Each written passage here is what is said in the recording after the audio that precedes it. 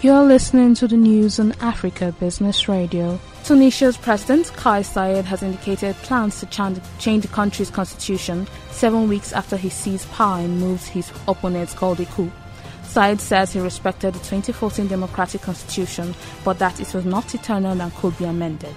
He says amendments must be made within the framework of the constitution the president was planning to suspend the constitution and offer an amendment version via referendum, prompting opposition from political parties and the powerful UGTT labor union. That was the news at this time on Africa Business Radio.